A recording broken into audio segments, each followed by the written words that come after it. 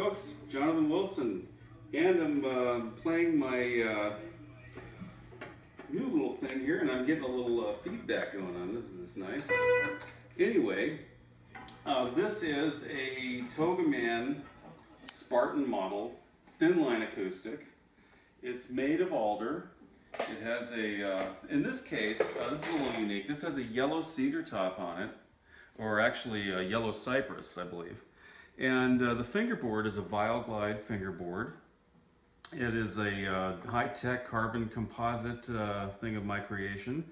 Uh, there's a big story on that, but I'll leave that one out for later. Uh, one thing that's kind of fun about it is, of course, we can't see it in this light, but these dots will actually glow in the dark. Uh, so if you're like on a dark stage or something like that, you can deal with that. It has a leg peg over here, and this just slides in and sticks in by a magnet. And I can, uh, I have a hole here prepared for a strap if we want to try the uh, sort of the standing uh, style playing. I like prefer the sitting playing though if I really want to get serious because I can kind of get a more of a relaxed, you know, bow stance and bow grip so we can just kind of...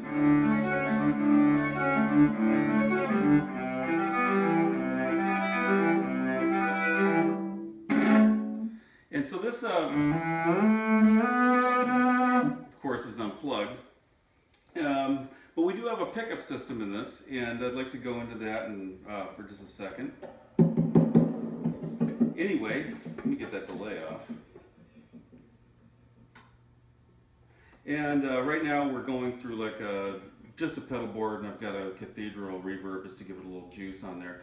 But I uh, want to explain a little bit about how this is wired in. Uh, this is a, uh, an LR Baggs lyric pickup on the inside and we have it's uh, got a gain control here and uh, we have a little sort of a presence thing which we kind of go in with a mini screwdriver and we tweak that until we like it. And uh, this typically is an active system which means that it has a uh, battery powered thing.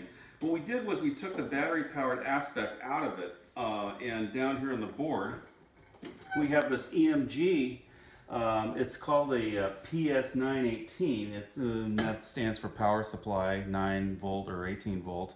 Um, I have this permanently sort of in the 9 volt uh, position, which is kind of appropriate. Now, what happens is we have a sort of, a, um, this is a standby switch, so we can kill it. And when we, uh, we can have an audio panic button. This is a TRS stereo cable. We've got the tip ring sleeve on here. And this goes to the instrument and to that little box, and in that way we power it. And, and that uh, saves us the trouble of pulling a 9 volt battery in and out of the instrument and playing ship in the bottle and all that fun stuff. Um, so we have that, and that's going to this amplifier. I'm going to say a few words about the amp. Uh, this is a um,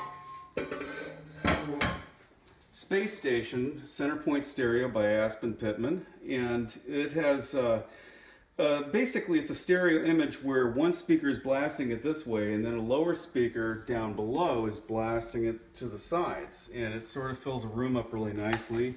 Gets nice and psychedelic and groovy when we want it to. It has uh, left and right um, audio. Uh, we've got the, of course, the volume levels and the width, and we have a little mid tweakage there. Um, we could go to a subwoofer if we felt we needed one. These are really great just uh, if you have like a little mixing board, you have basically kind of a grab and go PA system that'll fill up a whole, um, you know, bistro, winery, or coffee house kind of situation, or even just at home. Um, so anyway, that's uh, what I like about the amp is it, it has a flat response, and that's very, uh, very helpful uh, for when we're dealing with bowed strings.